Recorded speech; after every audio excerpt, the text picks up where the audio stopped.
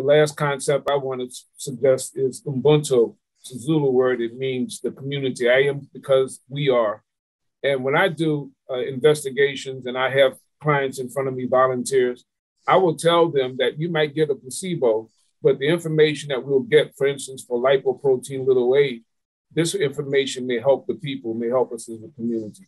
Most people are willing to understand that concept of the benefit of research.